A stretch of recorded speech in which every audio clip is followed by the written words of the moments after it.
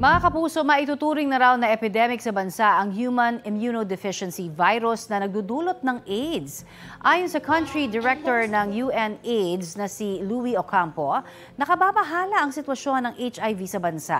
Mula kasi sa 2010 na anim lamang kada araw ang nadadiagnose, 48 na ang naitatala kada araw ngayong taon.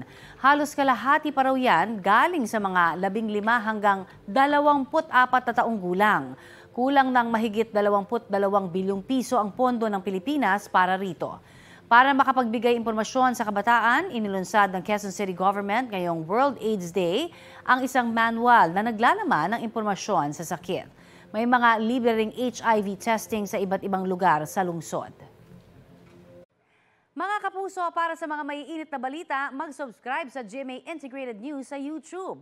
Sa mga kapuso abroad, subaybayan niyo po kami sa GMA Pinoy TV at sa www.gmanews.tv.